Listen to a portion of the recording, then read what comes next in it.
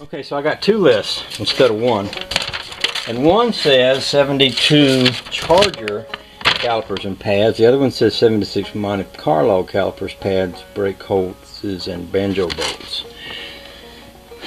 And I don't know if this is a Charger or a Monte Carlo, but I don't have pads for it, but I think if I take it to the parts store, they can match it up. And I do want to make sure that these are going to fit.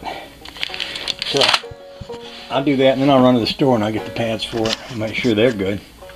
Once we're sure of that, we can install all of this and then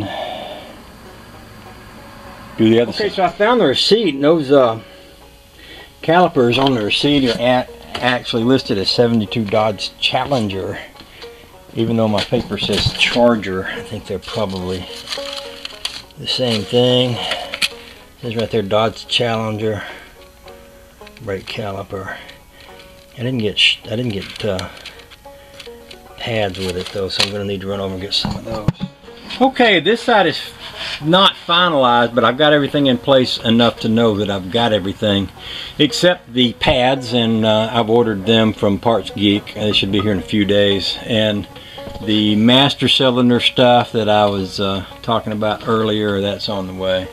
So I'm going to start taking the other wheel off. Uh, and it'll be probably pretty easy to uh, go as far as I can go with this tomorrow. Uh, and then we'll mess with something okay, else. Okay, so I was all done for the day, but I thought, well, I'll just come over here and, oh, just see how difficult it is to get this side done. Well, didn't take hardly any time at all. Uh, this brake line is stripped and probably doesn't matter.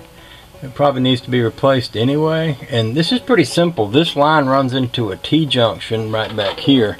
The line on the other end of it goes to the back of the car and then there's a line that goes right up to here and uh, so what I'll do is um, if I can get that loose well I'm gonna need one line to go to the back. So what I may do is if I can get that loose down there um, just plug that off run my new line down there put a T on it and run one side to this side and one side to the other side. That'd be pretty quick and easy. And uh, yeah so yeah. Then we'll leave that other side. I'll, I'll rebend this piece here around and let it run to the back maybe or something like that. Anyway, I'm going to knock off and get cleaned up for today. It's been a pretty good day of doing this stuff and uh, I kind of enjoy it. Uh, I like I like doing work like this when I'm not in a rush and I don't have to hurry or anything so you know it's kind of fun. It's kind of what working on old cars is all about in a way. It's just having fun with them and it's a lot of fun when you're uh, kind of got the time to enjoy it. I'm waiting for parts, so a lot of things I can't do. But uh, a lot of things I can do in the meantime too. So we'll see how that goes.